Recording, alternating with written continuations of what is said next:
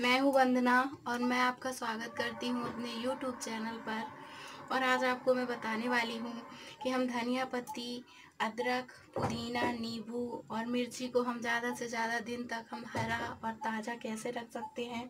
तो चलिए शुरू करते हैं।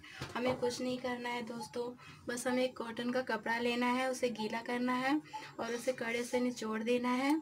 और कपड़ा ऐसा जब हो जाए तो हमें उस पर धनिया को ऐसे रखकर, ऐसे हमें लपेट लेना है और ऐसा रखने से आपकी धनिया आप देखेंगे, आप पाएँगे, ज़्यादा से ज़्यादा दिन तक वो हरी रहेगी, एकदम ताज़ी रहेगी, उसकी पत्तियाँ एकदम वैसे ही रहेंगी। फिर हमें एक कोई सा भी आप कॉटन का कपड़ा ले लो, उसे कड़े से निचोड़ लो, बस वो साफ़ सुथरा होना चाहिए। आप उस पर ऐसे पुदीनी के पत्तियाँ रख लो, ऐसे जमा लो।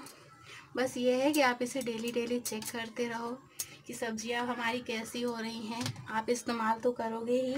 देखोगे, अगर इसके कपड़े सूख जाते हैं, ये कपड़ा सूख जाता है तो आप इस पर थोड़े छीटे मार सकते हैं पानी के, और आप पाएँगे कि आपकी सब्ज़ियाँ वैसी ही एकदम ताज़ी हैं, ज़्यादा से ज़्यादा दिन तक आप इसे स्टोर कर सकते हैं। सकते हैं। और ऐसा कोई दिक्कत नहीं आएगी कि आप फ्रिज में रखोगे तो कोई परेशानी होगी, कोई दिक्कत की बात हो जाएगी। फ्रिज में भी रखो, बाहर भी रखो, बस इस पर पानी, जैसे ही कपड़ा सूखे इसे पानी के छींटे मारो और आप